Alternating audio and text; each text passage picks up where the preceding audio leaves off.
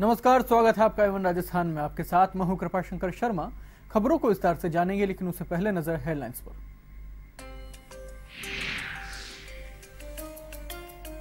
राजधानी को सीएम वसुंधरा राजे की सौगात, एसएमएस और ट्रोमा सेंटर के बीच अंडरपास का किया शिलान्यास? मरीजों और परिजनों को मिलेगी राहत, अब होगा अस्पताल का भी कायाकल्प।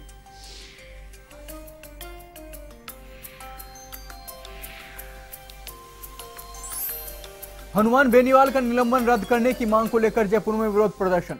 प्रशासन ने नहीं दी रैली निकालने की अनुमति। बेनीवाल और किरोड़ीलाल मीणा ने सरकार पर लगाया आंदोलन, कुचलने का आरोप।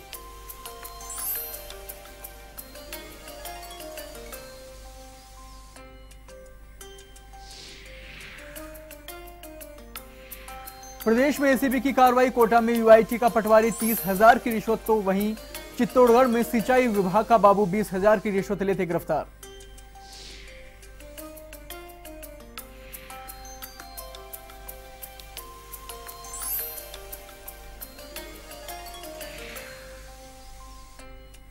भरतपुर के सीकरी में सिरथला गाँव में दिन दहाड़े लूट कोऑपरेटिव सचिव से बदमाशों ने हथियारों के दम पर लूटे एक लाख सत्तर हज़ार रुपए। लुटेरे बाइक और मोबाइल भी ले भागे, पुलिस ने कराई नाकेबंदी।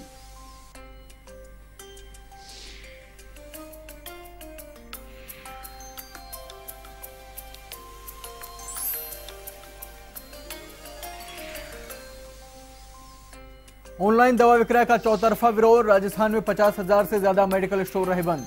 दवा के अभाव में मरीज़ और परिजन हुए परेशान।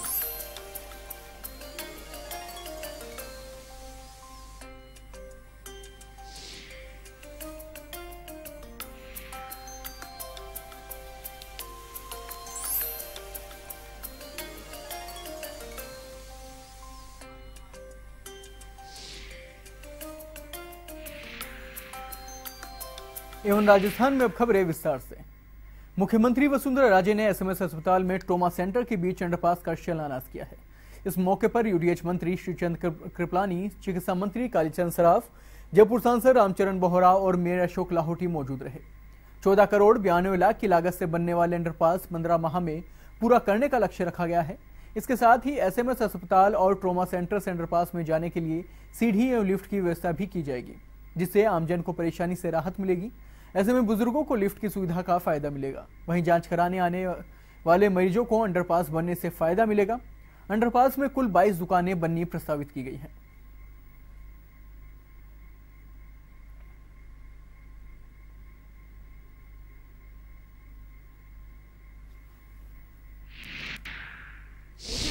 का काम अपन कर देते हैं, वहाँ शॉप्स का इंतज़ाम कर देते हैं तो हॉस्पिटल का भी भला होगा, मैंने लोगों को दूर दूर जाने की ज़रूरत ही नहीं होगी, वहीं हॉस्पिटल की शॉप भी मिलेंगे और यहाँ से वहाँ तक ले जाने के लिए पेशेंट्स के लिए आराम हो जाएगा। तो मुझे बड़ी खुशी है कि आज चौदह करोड़ की लागत से अच्छा हाँ उसका जो रिटर्न्स आएँगे दुकानों के ऊपर that will go to pay off these loans also so मेरा ये मानना है कि बहुत ही अच्छा जनता के लिए होगा, चौदह पंद्रह करोड़ का आपका इसमें इन्वेस्टमेंट है। और आने वाले समय के अंदर इसका फ़ायदा उस बिल्डिंग में भी मिलेगा, इस बिल्डिंग में भी मिलेगा। देखिए, माननीय मुख्यमंत्री जी की कई दिनों से ये इच्छा थी कि ऐसे में हॉस्पिटल को ट्रोमा सेंटर जो बना है, उसे अंडरपास बनवा के जोड़ा जाए। और आज वो सपना साकार हो रहा है। यहाँ शिलान्यास हुआ है। चौदह करोड़ नब्बे लाख रुपए की लागत से जेडीए इस अंडरपास को बनवा रहा है। और अभी मैडम ने ये भी निर्देश दिया है कि मेडिकल कॉलेज और एसएमएस के बीच में जेलन मार्ग पर भी इसी प्रकार का अंडरपास बने हैं। तो जेडीसी साहब को निर्देश दिया है तो वो उसकी भी एक्सरसाइज करके और भगवान ने चाह तो इसके साथ साथ वो भी बन करके तैयार हो जाएगा। देखिए, माननीय मुख्यमंत्री जी ने अभी हमको निर्देश दिया है और जेडी साहब ने कहा कि इसको बहुत जल्दी एग्जामिन करके इसका कार्य भी हम प्रारंभ कर देंगे। ये अंडरपास वैसे तो टाइम पीरियड तो इसका पंद्रह महीने का है। लेकिन आज माननीय मुख्यमंत्री जी ने निर्देश दिया है कि इसको ग्यारह महीने में तैयार करो। तो हम मुख्यमंत्री जी का निर्देश हमको मानना ही है। हमने जे को निर्देश दिया है और कल ठेकेदारों को बुलाकर हम प्रयास करेंगे कि एक साल के अंदर अंदर इसका उद्घाटन हो जाए। विधानसभा से निलंबन के विरोध में खिंसर विधायक हनुमान बेनीवाल समर्थकों को जयपुर जिला प्रशासन ने रैली की अनुमति नहीं दी है। प्रशासन की अनुमति नहीं मिलने के बावजूद बेनीवाल के सैकड़ों समर्थक जयपुर उनके आवास पर पहुँच गए। समर्थकों को संबोधित करते हुए बेनीवाल ने सरकार पर निशाना साधा है। बेनीवाल ने कहा कि किसान, मजदूर, गरीब और दलित आदिवासियों की आवाज़ सदन में उठाने के कारण सरकार ने निलंबन कर दिया है। अब जब सड़कों पर जनता की आवाज़ उठाने जा रहे हैं तो यहाँ भी सरकार तानाशाही कर रही है, जिसे बर्दाश्त नहीं किया जाएगा। बेनीवाल ने कहा कि कार्यकर्ताओं को जगह जगह पर रोका गया, उन्हें थानों में बंद कर दिया गया। गाड़ियों की हवा निकाल दी गई है। वहीं बेनीवाल समर्थकों को राज्यपाल विधायक डॉक्टर किरोड़ी लाल मीणा ने भी संबोधित किया। मीणा ने कहा कि ऐसी तानाशाही सरकार कभी नहीं देखी।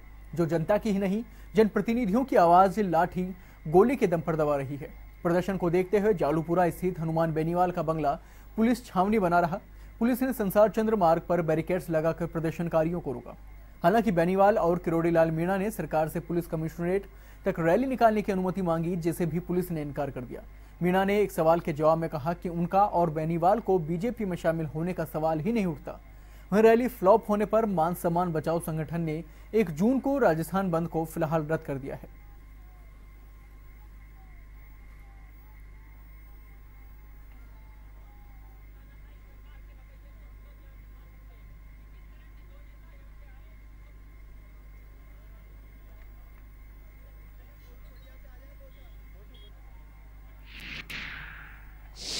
महोदय ने चौदह माननीय सदस्यों को निलंबित किया था बारह को बहाल कर दिया दो रह गए और दो में एक हनुमान बेनीवाल है जो अपने समर्थकों के साथ निलंबन के खिलाफ में समर्थकों को लाए और बहाली की मांग करने के लिए आए। ये बहाल हो इनके समर्थन में भी मैं इनके साथ जयपुर की सड़कों पर उतरा। ये राजनीति है। अनुमति देने के बाद रद्द करनी चाहिए रद्द करना भी अन्यायपूर्ण कार्रवाई है। इसलिए अन्याय का विरोध करेंगे। हमारी प्रमुख मांगे एक तो राजस्थान का मान बचाओ, सम्मान बचाओ समिति जो एक कार्यक्रम कर रही है, एक तो निलंबन रद्द की सरकार घोषणा करे, जो गलत तरीके से मेरा निलंबन रद्द हुआ है। और दूसरा, शांतिपूर्वक तरीके से लोकतांत्रिक प्रक्रिया के तहत यहाँ परमिशन दी थी, उसके बाद परमिशन कैंसिल करी इससे लेकर राजस्थान के जवान उत्तेजित थे और आर पार की लड़ाई लड़ी मोदी सरकार के तीन साल पूरे होने पर, मोदी सरकार पर कांग्रेस के हल्ला बोल पर राज्य के समाज कल्याण मंत्री अरुण चतुर्वेदी बचाव में कूदे हैं। चतुर्वेदी ने कहा कि कांग्रेस ने अब तक देश की जनता से कभी गरीबी हटाओ, कभी गरीबी मिटाओ के नारे लगाए हैं। लेकिन काम कभी नहीं किया। पहली बार देश को ऐसा पीएम मिला है, जिसने गरीबों के लिए नीतियाँ बनाकर सीधा लाभ दिया है। मोदी वो नाम है जिसने देश विदेश में देश का नाम ऊँचा किया है, जिस पर जनता का भरोसा है। एक अन्य सवाल के जवाब में, चतुर्वेदी ने राज्य में कांग्रेस कार्यकर्ताओं पर जबरन हल्ला मचाने का आरोप लगाया है। उन्होंने कहा कि राजधानी में लगातार विकास कार्य हो रहे हैं। इसके बावजूद कांग्रेस कार्यकर्ता उस स्थान पर जाकर हल्ला मचा रहे हैं, जहाँ पर सड़कों के वर्क ऑर्डर हो चुके हैं।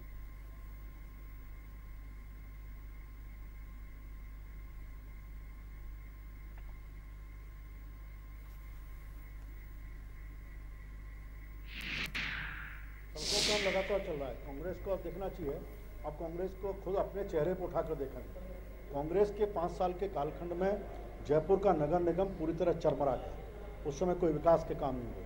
आज हम उसके कारण से सारा जयपुर को परिणामों को भुगत रहा है और विकास के कामों को लगातार बढ़ने काम एक एक करके कांग्रेस की नियति हो गई और विशेष रूप से कांग्रेस के शहर के अध्यक्ष, उनका एक स्वभाव है कि जहाँ काम की वर्क ऑर्डर निकल जाता है, फाइनेंशियल सिक्योरिटी निकल जाती है, टेंडर निकल जाता है, वहाँ जाकर के आंदोलन चित्तौड़गढ़ ज़िले में भ्रष्टाचार विरोधक ब्यूरो ने मछली ठेकेदार से बीस हज़ार की रिश्वत लेते सिंचाई विभाग के सहायक कर्मी को रंगे हाथों गिरफ़्तार किया है। चौकी प्रभारी, अतिरिक्त पुलिस अधीक्षक चिरंजी लाल मीना ने बताया कि चंदेरिया निवासी मछली ठेकेदार अनिल खत्री ने ब्यूरो में परिवाद पेश किया। इसमें बताया कि ज़िले के सिंचाई विभाग गंगरार व्रत के सालेर बाँध का मछली ठेका उसके नाम पर चार लाख रुपए में लूटा है और उसने मछली पालन के लिए दस लाख रुपए बाँध पर खर्च कर दिए हैं। बाँध से वहाँ तैनात सहायक कर्मी दौलत राम माली लगातार नहर के ज़रिए पानी खाली कर रहा था। और जब करीब आठ फीट पानी रह गया तो उसने उसे पानी छोड़ने से मना कर दिया। तो बदले में उसने रुपए की मांग की। परिवादी रंगे, रंग लगे नोट लेकर बाँध पर पहुँचा और उसे दिए, जो उसने अपनी मोटरसाइकिल की डिग्गी में रख लिए। इशारा मिलते ही ब्यूरो के दल ने उसे दबोच लिया। आपको बता दें कि डिक्की से राशि भी बरामद कर ली गई है, और उसे विशेष न्यायालय उदयपुर में पेश किया जाएगा।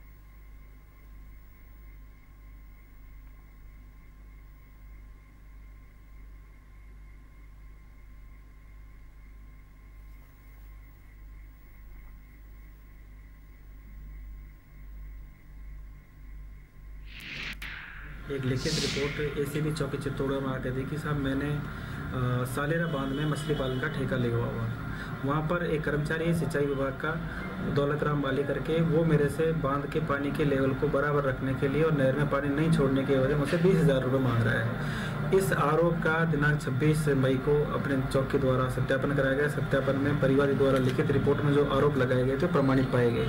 इसके आधार पे अ, आज दिनांक 30 मई को परिवादी से बीस हज़ार रुपये की रिश्वत लेते हुए सालेरा बाँध पर। दौलत राम वाली जो कि सिंचाई विभाग में हेल्पर पद पर तैनात है।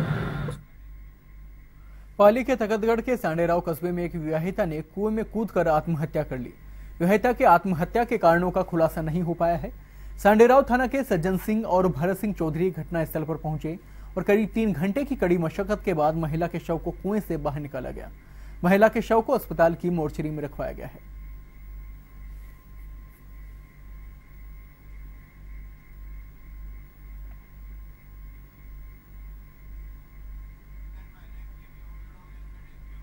जैसलमेर के फलसून में एक विवाहिता ने टांके में कूदकर आत्महत्या कर ली। आत्महत्या के कारणों का खुलासा अभी तक नहीं हो पाया है। वहीं फलसून थाने के पदमपुरा गाँव की घटना है। विवाहिता के परिजनों ने मामले की सूचना पुलिस को दे दी है। वहीं मृतका के घर वालों ने दहेज प्रताड़ना का आरोप लगाया है।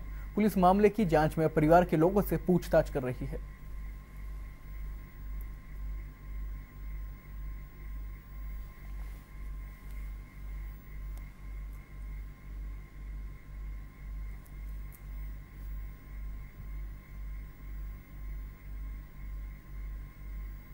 डूंगरपुर में महिला समूह के नाम पर ठगी करने के मामले को लेकर महिलाओं ने पुलिस अधीक्षक को अपनी आपबीती सुनाई। महिलाओं ने बताया कि कुछ समय पूर्व कुछ लोगों ने महिला बचत स्वयं सहायता समूह के नाम पर एक समूह खोला, जिसमें शहर की यादव बस्ती व पातेला बस्ती की महिलाओं ने सदस्यता ली, जिसमें उनको घर की छोटी जरूरतों को लेकर काम करना सिखाया जा रहा था। संस्था के सदस्यों ने बैंक से लोन लेने की जानकारी दी और महिलाओं को ग्रामीण बैंक से लोन दिलाने के नाम पर कोरे कागज़ पर हस्ताक्षर करवा लिए। और बैंक से चालीस हज़ार का लोन मिलने की कहकर सभी महिलाओं को पैसे दे दी। बाद में बैंक की ओर से सभी महिलाओं को एक लाख का नोटिस आया है।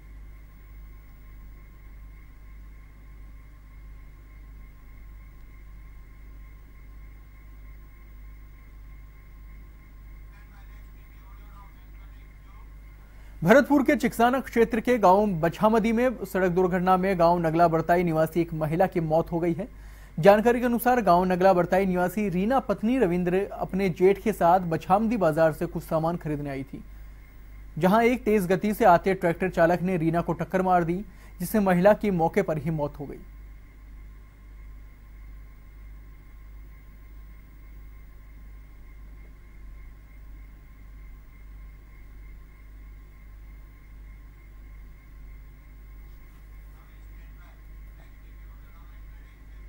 अलवर ज़िले के गोविंदगढ़ क्षेत्र के गाँव नसवारी में कलयुगी माँ अपनी नवजात बालिका को मारकर फेंक गई। नवजात बालिका मुख्य सड़क से दूर केसर सिंह की समाधि के नज़दीक मृत अवस्था में मिली है। नवजात के सिर, मुँह और पैर पर चोट के निशान मिले हैं।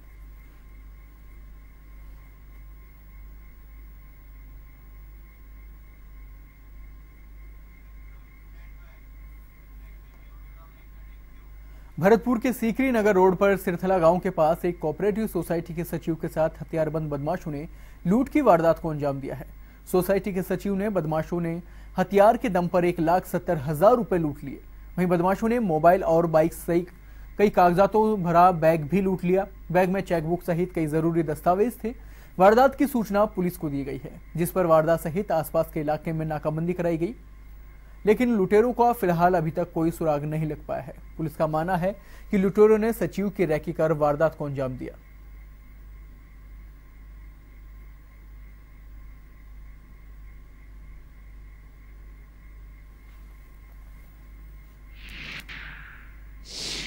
पैसे थे, डेढ़ लाख रुपए नगद थे और बीस हज़ार मेरे पास में थे। तो उसने थोड़ा देर पीछे जो एच को घर से बोल रहा पेट्रोल को वहाँ के बीच में सत्ता रोड बीच में। तो वहाँ पीछे से बाइक आई थी। उनने हमारा कट्टा लगाया सर कट्टा लगा कर उन्होंने बाइक रोकी है। फिर हमने भी करिए ज़रूरत नहीं। तो उन्हें कट्टा दिखा के बैग, बाइक, पर्स, मोबाइल, सारी चीज़ ली। सीकर जिला मुख्यालय स्थित राधाकृष्णपुरा बाईपास पर एक पैंथर के निर्माणाधीन मकान के अंदर घुस जाने से इलाके में सनसनी फैल गई। सुबह से ही पैंथर के इलाके में होने की खबर पर पुलिस और वन विभाग के अधिकारी मौके पर पहुँचे। पैंथर के निर्माणाधीन मकान में छिपे होने की सूचना पर जयपुर जू से ट्रेनकुलाइज करने के लिए अधिकारियों की टीम सीकर पहुँची है। करीब चार घंटे की मशक्कत के बाद पैंथर को ट्रेनकुलाइज किया जा सका। सीकर के डीएफओ राजेंद्र हुड्डा ने बताया कि ये नर पैंथर था, जो शाकंबरी इलाके से शहर की ओर आ गया था। ट्रेनकुलाइज किए जाने के बाद पैंथर को वापस शाकंबरी वन में छोड़ दिया गया है।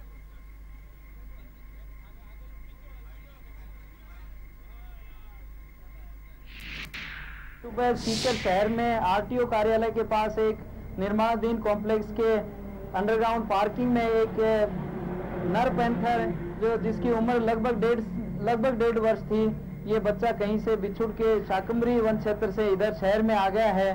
उसको सुरक्षित रूप से जयपुर वन्य जीव विशेषज्ञों की टीम, डॉक्टर की टीम के साथ लाकर उनको ट्रैंकुलाइज करके अभी दोपहर में ट्रैंकुलाइज कर लिया गया है और उनको शाकंबरी वन क्षेत्र में पुनः जहाँ से जिस क्षेत्र में ये आया है, उसी क्षेत्र में पुनः छोड़ा झुंझुनू में मंगलवार सुबह हिस्ट्री शीटर और पुलिस के बीच मुठभेड़ हुई, जिसमें हिस्ट्री शीटर को गोली लगने से वह घायल हो गया, जबकि मुठभेड़ में एक पुलिसकर्मी भी चोटिल हुआ है। ये मुठभेड़ ज़िले के पचेरी थाना इलाके के गाँव देलवावास में हुई थी। गाँव भालोट का हिस्ट्री शीटर सतवीर मंगलवार सुबह अपने ननिहाल देवलावास आया हुआ था।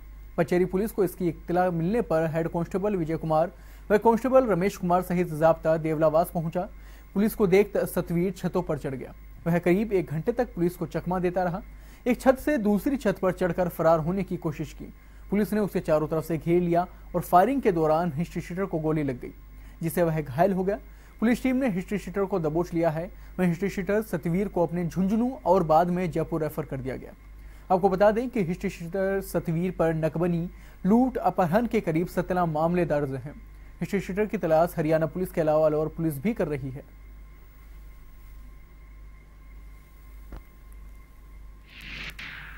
थानाधिकारी कचहरी को सूचना मिली थी कि सतवीर जाट आज देलावास गाँव में आया हुआ जिसके पास हथियार भी है और वो किसी घटना को अंजाम देने की राट में इस पर थानाधिकारी मैं जाबते के वहाँ देलावास पहुँचे, चारों तरफ़ से घेरा दिया, उसको पकड़ने का प्रयास किया तो उसने पुलिस पे तीन राउंड फायरिंग की। उसके बाद में कांस्टेबल रमेश ने लपक के उसको पकड़ा तो रमेश के सर में भी उसने मारी और रमेश घायल होने पर हेड कांस्टेबल विजय कुमार ने अपने बचाव के लिए उसके जांग पे एक गोली मारी, जिससे वो भी घायल हो गया और उसको जयपुर रेफर कर दिया गया है, वो वैसे खतरे से बाहर है। देश भर में बीजेपी कार्यकर्ता केंद्र की मोदी सरकार के तीन साल पूरे होने पर जश्न मना रहे हैं। लेकिन कई स्थानों पर इन्हें आम जनता के विरोध का सामना भी करना पड़ रहा है। सीकर ज़िले में भी तीन साल के जश्न मनाने के लिए आयोजित कार्यक्रम में स्थानीय सांसद सुमेधानंद सरस्वती को कार्यकर्ताओं के विरोध का सामना करना पड़ा। आप अपने टीवी स्क्रीन पर खुद देख सकते हैं कैसे सांसद के खिलाफ कार्यकर्ताओं का गुस्सा उतर रहा है। यही नहीं, सांसद का बीच बचाव करने मंच पर गए विधायक और सैनिक कल्याण बोर्ड के अध्यक्ष प्रेम सिंह खाजोर को भी खरी खोटी सुनाई गई। कार्यकर्ताओं के गुस्से को देखते हुए सांसद ने भी उन्हें देख लेने की धमकी देकर कार्यक्रम को छोड़कर जाने से अपनी भलाई समझी। आप भी देखें किस तरह से सांसद और विधायक को लोग अच्छे दिन बता रहे हैं।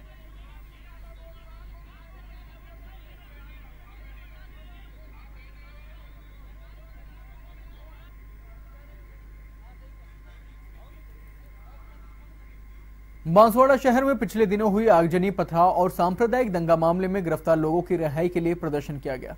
हाथों में विभिन्न प्रकार के बैनर लेकर लोग कॉन्ट्रैक्ट कलेक्ट्रेट पहुँचे, जहाँ जिला प्रशासन के खिलाफ आक्रोश जताया गया है। मानवाधिकार मंच के बैनर तले लोगों ने धरना प्रदर्शन कर निर्दोष लोगों को छोड़ने की मांग की। वहीं सीएम के नाम अतिरिक्त जिला कलेक्टर को ज्ञापन भी सौंपा है। पुलिस ने इस मामले में करीब 200 लोगों की गिरफ्तारी की गई थी।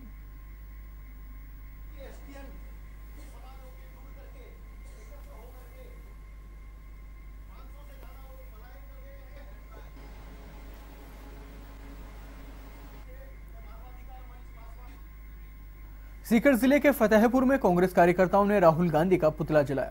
केरल में युवक कांग्रेस कार्यकर्ताओं ने गाय काट पर बीफ पकाने के मामले में विरोध जताया था। गौ सेवा समिति की प्रदेशाध्यक्ष दिनेश गिरी के बयान के बाद युवाओं ने कांग्रेस के खिलाफ विरोध प्रदर्शन किया है।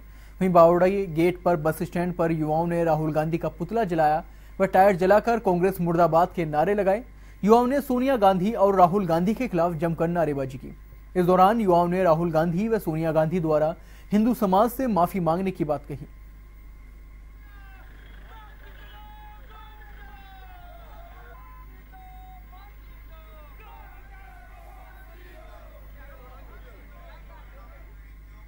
सीकर ज़िले के लक्ष्मणगढ़ इलाके के सभी मेडिकल स्टोर मंगलवार को पूर्णतः बंद रहे। केंद्र सरकार के ऑनलाइन दवा बिक्री के प्रस्ताव का विरोध जताया गया। आपको बता दें कि 24 घंटे के बंद के आह्वान पर लक्ष्मणगढ़ के एक भी मेडिकल स्टोर नहीं खुले। केमिस्ट एसोसिएशन द्वारा अपनी मांग को लेकर केंद्रीय स्वास्थ्य मंत्री के नाम उपखंड अधिकारी को ज्ञापन सौंपा गया। एसोसिएशन के ज्ञापन में बताया कि दवा की ऑनलाइन बिक्री के कारण दवाओं की क्वालिटी के साथ युवा नशे की ओर बढ़ेंगे।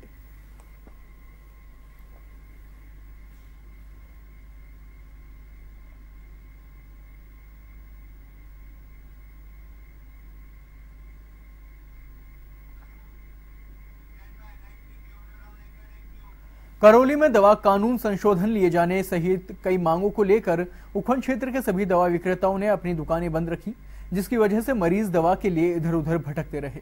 लेकिन उन्हें कहीं पर भी दवा नहीं मिली। वहीं गाँव से इलाज के लिए आए मरीज़ भी दिन भर दवा की दुकानों के बाहर बैठकर दुकानें खुलने का इंतज़ार करते रहे। दवा विक्रेताओं ने मुख्यमंत्री के नाम जिला कलेक्टर को ज्ञापन सौंपा है।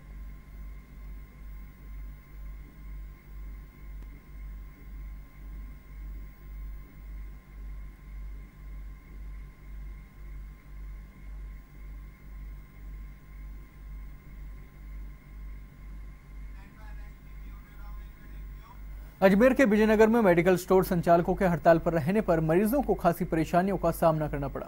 आपको बता दें कि देश में दवा वितरण प्रणाली के ऑनलाइन ई पोर्टल करने पर केमिस्ट एसोसिएशन द्वारा देशव्यापी हड़ताल की जा रही है। ऐसे में केमिस्ट एसोसिएशन ने प्रधानमंत्री के नाम तहसीलदार को ज्ञापन सौंपकर इसमें वापस बदलाव करने की मांग की है।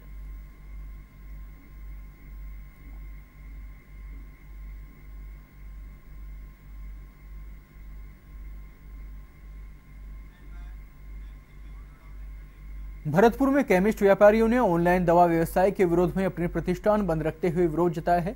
इस अवसर पर जिलाध्यक्ष जगदीश गुप्ता के नेतृत्व में केमिस्ट टोली बनाकर पूरे शहर में चक्कर लगाते रहे। इस अभूतपूर्व बंद पर राजस्थान केमिस्ट एसोसिएशन के अध्यक्ष आरवी पुरी ने बधाई दी। वहीं दौरान कुछ केमिस्टों के द्वारा मरीजों के हित को देखते हुए अपने प्रतिष्ठान खोले।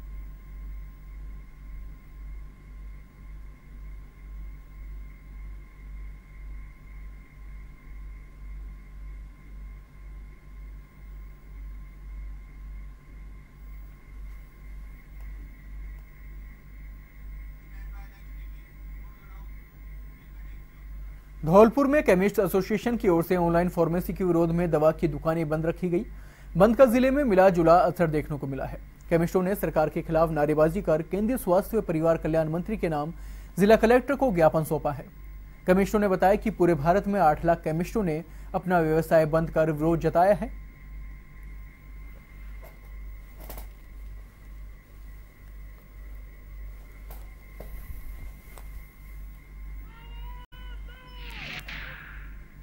प्रधानमंत्री ने अपने फरमान जारी किए हैं उससे दवा व्यवसाय के हितों पर बहुत खतरा पैदा हो गया है पूरे संपूर्ण देश के साढ़े आठ लाख केमिस्ट तीस मई को सफल बना रहे हैं पूरे राजस्थान के जिसमें पचास हज़ार केमिस्ट से ज़्यादा जो है पूरा संपूर्ण बंद रख रहे हैं और इससे जो है सरकार को बताया जा रहा है कि हम लोग एकता कितनी कितना कुछ कर सकते हैं अपने हितों के लिए? भरतपुर ज़िले के हलेना क्षेत्र के विधायक भजन लाल जाटव ने दौरा किया है। विधायक ने वहाँ सभाओं को संबोधित किया।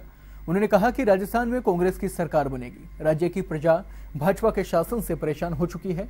रोज़गार, सड़क, पेयजल, बिजली, शिक्षा की समस्याओं पर ध्यान नहीं दिया जा रहा।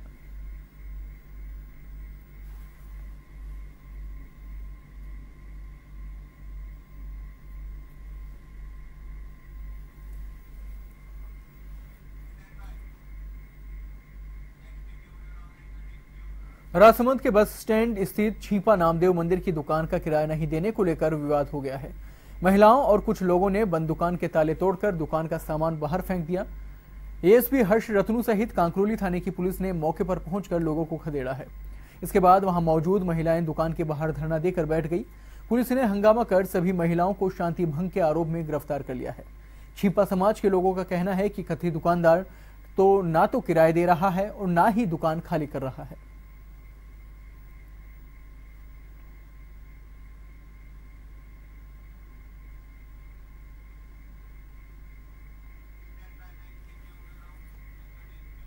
राजधानी के दूदू के समीप बंधे के बालाजी में तिरपनवा, तीन दिवसीय वार्षिक मेले का आयोजन किया गया, जहाँ सुबह से ही श्रद्धालुओं का मंदिर में तांता लगा रहा। यहाँ हज़ारों की संख्या में श्रद्धालुओं ने मेले में पहुंचकर बालाजी के दर्शन किए। वहीं बालाजी समिति के द्वारा भीषण गर्मी को देखते हुए श्रद्धालुओं के लिए जगह जगह नींबू सिकंजी, ठंडा जल की स्टोर लगाई गई। इस बार गार्डन में लगी भगवान हनुमान व शिव की विशाल मूर्ति मेले में आकर्षण का केंद्र रही पुलिस प्रशासन की व्यवस्था सही नहीं होने के कारण लोगों को भारी परेशानी का सामना करना पड़ा। भरतपुर के गाँव सीरस में आयोजित तीन दिवसीय कीर्तन दंगल का मंगलवार को समापन हुआ। कीर्तन दंगल में चार गायक मंडलों ने भाग लिया है, जिसमें रायबरेली से साधना सिंह, हाथरस से किशन शर्मा, लखनऊ से रोशनी अंजान ने गायक की प्रस्तुतियाँ दी। कीर्तन दंगल में गायक कलाकारों ने पौराणिक, धार्मिक व राजनीतिक परिप्रेक्ष्य में गायन की प्रस्तुतियाँ दी हैं, जिन्हें श्रोताओं ने खूब सराहा। दंगल में आसपास के गाँवों के श्रोता भी मौजूद रहे।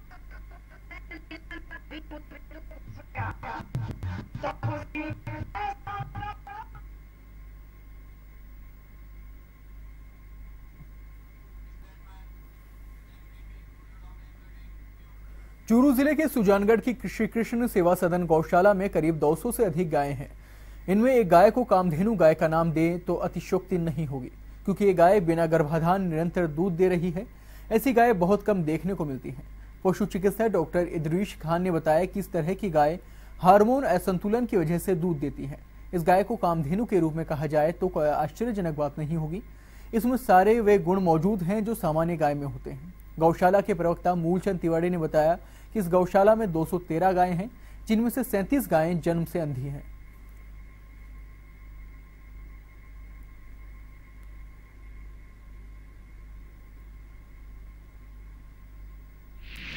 गौशाला के अंदर लगभग यहाँ पे 200 से ऊपर गाय हैं, जिसमें से एक अलग हमारे यहाँ पे गाय है, जो बगैर काविंग के लगातार दूध दे रही है। ये एक अब नॉर्मल कंडीशन होती है, जिसके अंदर बॉडी के अंदर हार्मोनल इम्बैलेंस होता है। जिसकी वजह से इनमें ये हीट में नहीं आती है और काविंग की कंडीशन इनमें नहीं हो पाती है। मतलब ये इनमें हम गर्भाधान नहीं हो कर पाते हैं। और ये लगातार, फिर भी लगातार मिल्किंग प्रोसेस में ये रह सकती है। भरतपुर में भारतीय स्टेट बैंक के ग्राहकों की सामान्य समस्याओं के समाधान के लिए शिविर लगाया गया है।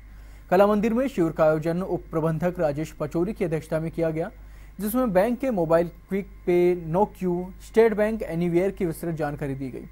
शिविर के दौरान लोगों को ओटीपी और कई ज़रूरी बातों के प्रति जागरूक किया गया है।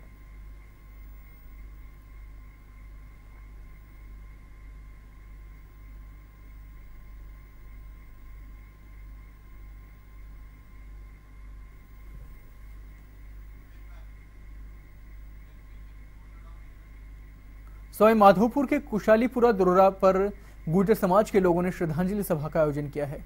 जिसमें आरक्षण संघर्ष समिति के कर्नल किरोड़ी सिंह बैंसला और कैप्टन हरिप्रसाद भी सभा में पहुँचे। कर्नल बैंसला ने 30 मई 2008 के आंदोलन में मारे गए दो लोगों को श्रद्धांजलि दी। इस अवसर पर कर्नल किरोड़ी लाल सिंह बैंसला ने कहा कि गुर्जर समाज के युवाओं को शिक्षा के क्षेत्र में आगे बढ़ने की अपील की। उन्होंने कहा कि सरकार को दिए गए अल्टीमेटम से पूर्व या तो सरकार किसी निर्णय पर पहुँचती है, नहीं तो मैं अपने किए हुए वादों पर डटा रहूँगा। गुर्जर समाज के हित के लिए कर्नल किरोड़ी सिंह बैंसला जब तक लड़ते रहेंगे तब तक उनका सपना पूरा नहीं हो जाता। उनका सपना यह है कि उनके समाज की बेटी एक दिन आईएएस आईपीएस बनकर सवाई माधोपुर जिला मुख्यालय पर बैठे और गुर्जर समाज का प्रतिनिधित्व करे। इस दौरान सैकड़ों लोग श्रद्धांजलि सभा में मौजूद रहे।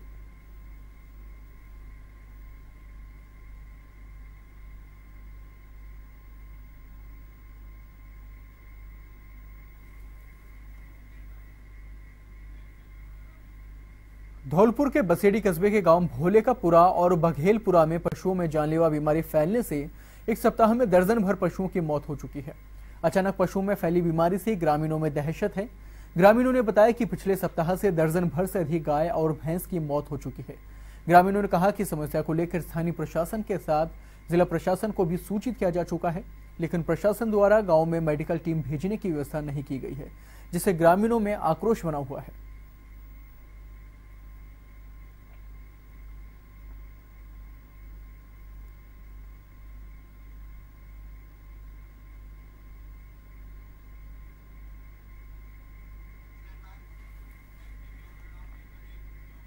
धौलपुर ज़िले के सेपोई उपखंड के देवनारायण छात्रावास में छह दिवसीय ग्रीष्मकालीन प्रशिक्षण शिविर का आयोजन किया जा रहा है।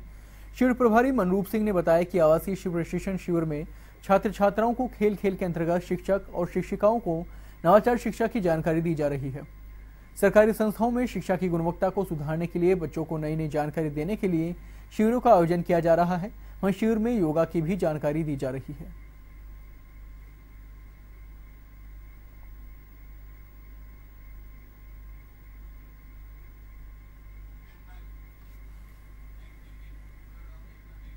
भरतपुर में ज़िले के वाणिज्य एवं विज्ञान वर्ग में 60 प्रतिशत से अधिक अंक प्राप्त करने वाले विद्यार्थियों का सम्मान किया जाएगा।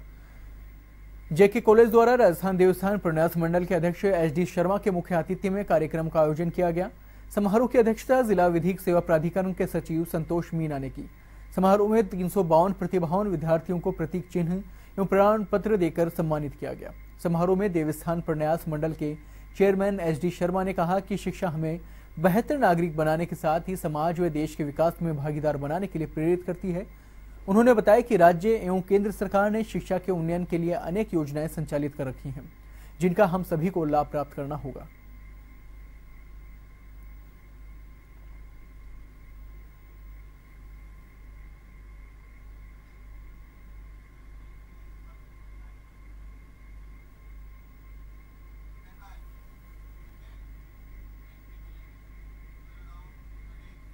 नारद जयंती के मौके पर विश्व संवाद केंद्र की ओर से पूरे प्रदेश में गोष्ठियों का आयोजन किया जा रहा है, जिसका विषय राष्ट्र जागरण में पत्रकारिता की भूमिका रखा गया है।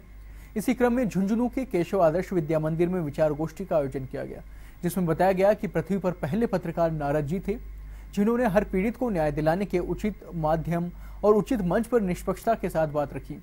आज के युग में यही काम पत्रकार कर रहे हैं। कार्यक्रम के दौरान जिला मुख्यालय के पत्रकारों का भी सम्मान किया गया है।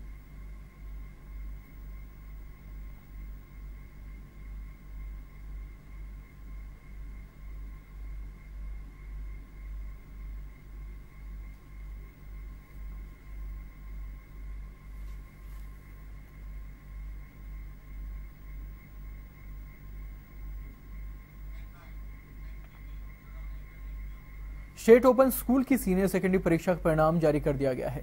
ये परीक्षाएँ 30 मार्च से 25 अप्रैल तक आयोजित हुई थी। शिक्षा राज्य मंत्री वासुदेव देवनानी ने शिक्षा संकुल में परीक्षा परिणाम जारी किया है। इस बार इकतालीस हज़ार से अधिक परीक्षार्थियों ने परीक्षा में भाग लिया था, जिसमें से करीब साढ़े बाईस हज़ार महिला परीक्षार्थी और उन्नीस हज़ार पुरुष परीक्षार्थी शामिल हुए।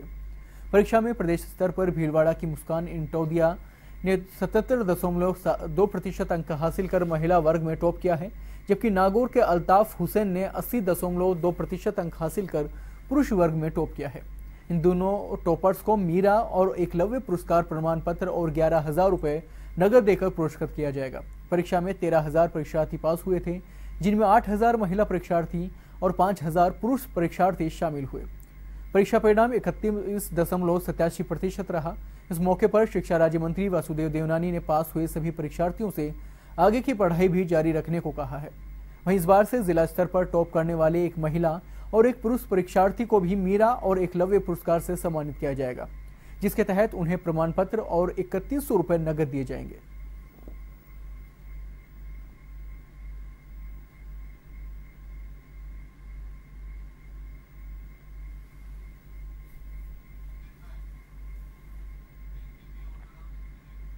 भरतपुर में जिला स्तरीय औद्योगिक सलाहकार समिति की बैठक कलेक्ट्रेट सभागार में आयोजित की गई। बैठक में विभिन्न औद्योगिक क्षेत्रों की समस्याओं पर चर्चा की गई, जिसमें सड़क अत्याधिक क्षतिग्रस्त होने की शिकायत पूर्व की बैठक में भी की गई थी। लेकिन अभी तक सुनवाई नहीं होने पर अतिरिक्त जिला कलेक्टर ने सार्वजनिक निर्माण विभाग के अधिशासी अभियंता को शीघ्र ठीक करने के निर्देश दिए हैं, तथा माल गोदाम रोड से कृषि उपज मंडी गेट तक की रोड की मरम्मत करने के भी निर्देश दिए हैं।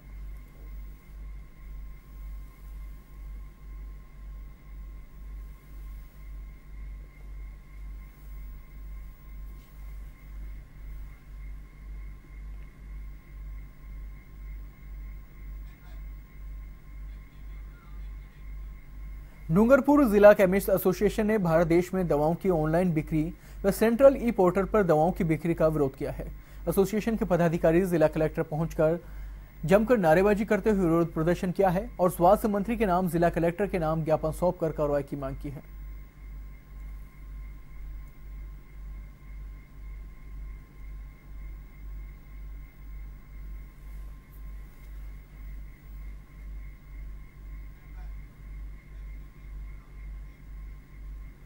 चूरू जिला मुख्यालय पर भी अब नेकी की दीवार जरूरतमंदों की मदद करेगी। जिला कलेक्टर ललित गुप्ता ने नगर परिषद रैन बसेरा में नेकी की दीवार का शुभारंभ किया है।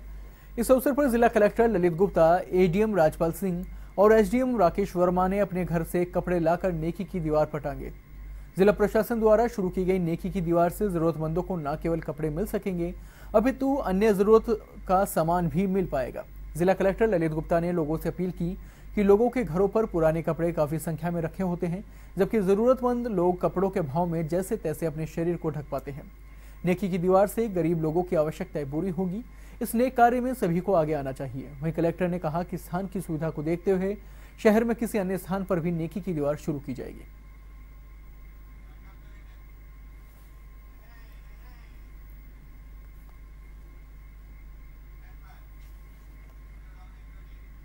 फ़िलहाल खबरों में इतना ही। देश और दुनिया की बाकी खबरों के लिए देखते रहिए वन टीवी। नमस्कार।